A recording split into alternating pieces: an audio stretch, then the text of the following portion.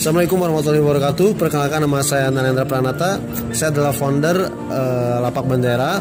Apa itu Lapak Bendera? Lapak Bendera adalah tempat produsen jenis-jenis bendera, ada umbul-umbul, bandir, brekon, dan uh, masih banyak lagi.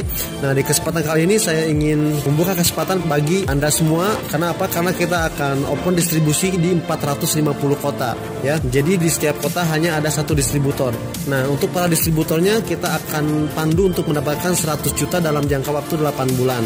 Jadi bagi teman-teman yang ingin tahu lebih detail, silahkan klik link di bawah ini. Oke, sekian dari saya. Terima kasih. Assalamualaikum warahmatullahi wabarakatuh.